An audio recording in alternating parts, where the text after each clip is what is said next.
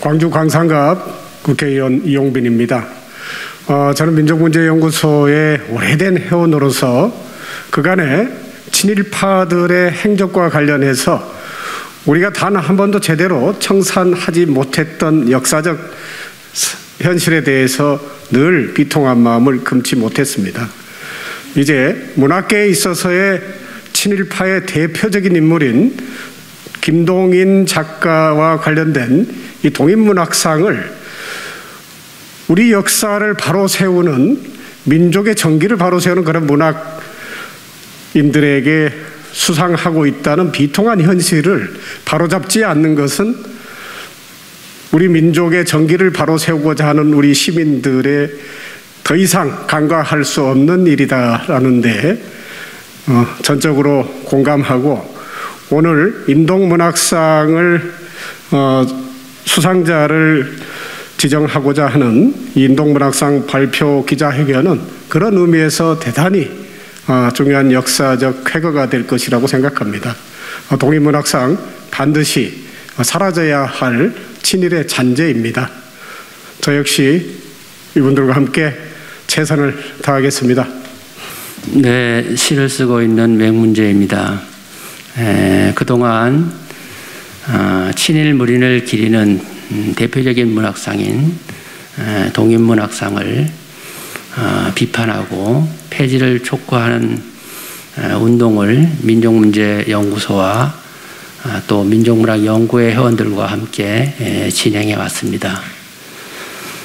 어, 오늘 음, 이 어, 젊고 또 바른 역사관을 가지고 있는 어, 시민들이 예, 동인문학상에 대한 대안으로 어, 인동문학상을 어, 제정한 것은 어, 고무적인 일입니다.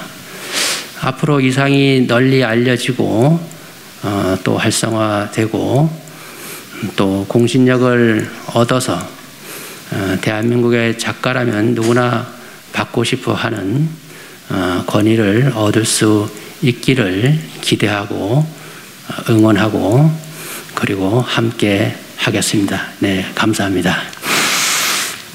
민족문제연구소 민족문학연구회 사무국장 맡고 있는 시쓰는 권유상이라고 합니다.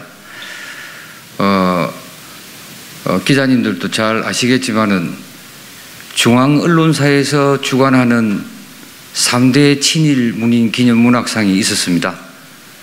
어, 중앙일보에서 시부문 위당 서정주를 기리는 위당 문학상, 그 다음에 한국일보에서 주관했던 김기진, 친일파 김기진을 기리는 팔봉 비평 문학상, 그리고 조선일보 동인문학상, 소설 부문, 이렇게 세 가지가 있었는데요. 여기가 날이 갈수록 더 권위를 가지고 있습니다. 가지게 되었습니다. 이유는 중앙 언론에서 주관하니까 어, 많은 작가들이 줄을 서고 그랬습니다. 저희가 열심히 운동을 해서 미당문학상과 팔봉 비평문학상은 없어졌습니다. 어, 조선일보 동인문학상이 아직 남아 있습니다. 어, 이번에 좋은 인동문학상이 제정이 됨으로 해서 어, 이게 널리 알려지고 우리 작가들도 좀 더 각성하고 조선일보는 친일문인 김동인 앞에 작가들을 줄 세우는 행위를 더 이상 하지 않았으면 좋겠습니다. 감사합니다. 문학계 부조리를 다루고 있는 이민우라고 합니다. 문학계에 논란이 되고 있는 친일상 크게 두 가지 문제가 있습니다. 특정 집단의 문학계 내 권력 투쟁을 위해서 그들을 띄우고 어, 권위를 얻게 하는 역할을 하기 위해서입니다. 또 하나는 친일 문제의 치부를 숨기기 위한 행위로서 사용되고 있습니다. 동인문학상 이두 가지 모두에 포함됩니다.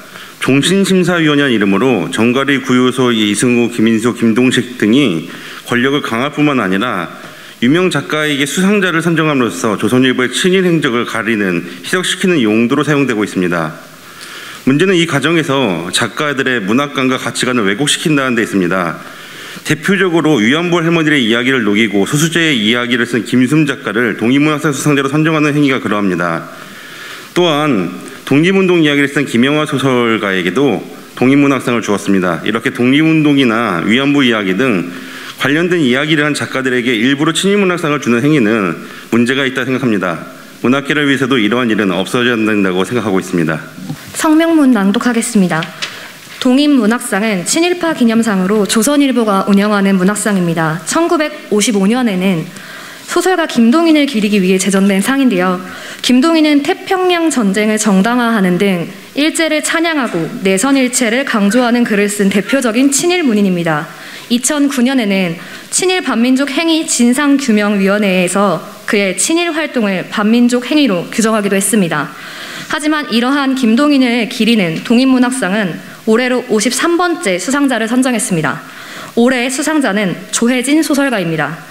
동인문학상은 매해 11월 말에 최종 후보자 시상식을 엽니다. 문학상은 문인의 문학적 명성을 유지하고 확장시킵니다.